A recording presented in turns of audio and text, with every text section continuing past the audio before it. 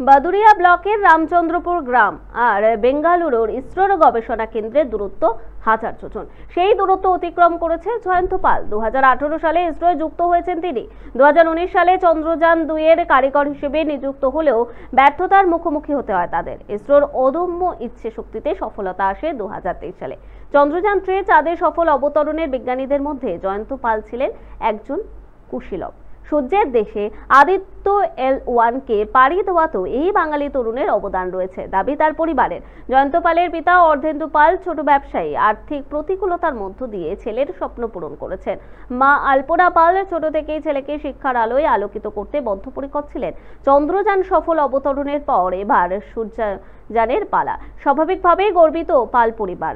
জনপ্রতিনিধি থেকে স্থানীয় গ্রামবাসীরা ফুল এবং মিষ্টি নিয়ে শুভেচ্ছা জানাতে পালবাড়িতেও ভিড় জমায়।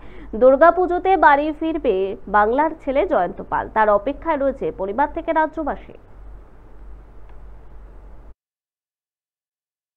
আমি চাই আমার ছেলে ভারত নয়, তথা সারা বিশ্বে মুখ উজ্জ্বল করুক এবং সারা বিশ্ব সমাজে আমার ছেলে পরিচিত হোক আর ওর যা মেধা শক্তি দিয়ে বিশ্ববাসীকে গর্বিত করুক, এটাই আমি মা হিসেবে চাই।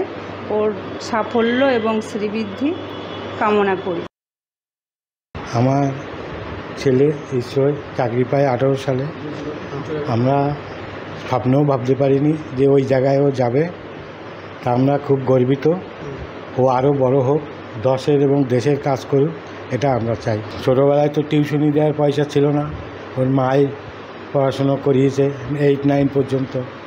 তারপরে খুব কষ্ট করেই ওকে মানুষ করা হয়েছে। অনেক কষ্ট করে ওকে মানুষ করতে হয়েছে।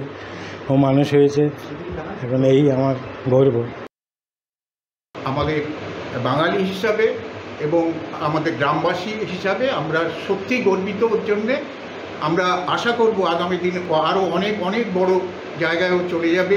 শুধু একটাই আমাদের খারাপ লাগবে, যদি এইটা নিয়ে রাজনীতি কেউ করতে চায়, সেটা নিশ্চয়ই খুব ভালো কিছু হবে না। আমি মনে করব যে সব রাজনীতির ঊর্ধ্বে থাকাই উচিত।